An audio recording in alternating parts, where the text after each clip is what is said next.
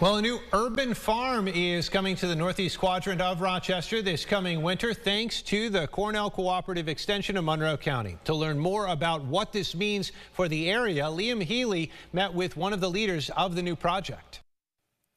On the corner of Remington and Morrill sits what is now a vacant lot owned by the city of Rochester. In just a few short months, though, it will soon be the new site of an urban farm, according to Mike Kincaid, the farm manager for the Cornell Cooperative Extension of Monroe County. We're in the northeast quadrant. This is the most densely populated area of Rochester. Uh, we are also currently uh, more than two miles from the nearest supermarket in Irondequoit. Um, I believe the second nearest one is almost three miles away. We will end up, uh, when this is fully built out, with about 2,000 square feet of growing space, which will be very similar to the farm on St. Paul. When completed, the farm, along with the one on St. Paul, will help to employ at least five people full time between the ages of 18 through 26 through the GROWS program. In this past season, employed five uh, full time employees.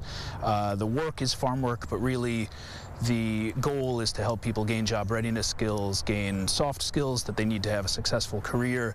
We use vegetable farming as a vehicle to do that.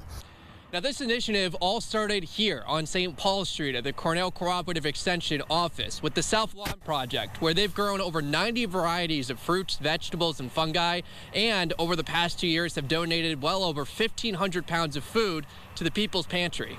We donated more than a thousand pounds of produce this past year. Estimate we're probably helping to feed about 30 families a week from the farm. They plan to break ground as soon as possible, and most of the work is hoped to be completed during the winter, but it is quite a task. Since it is city land, they have to build raised beds, import the soil and compost, and among other things, to get the area up and running. Reporting from the Northeast Quadrant, Liam Healy, News 8.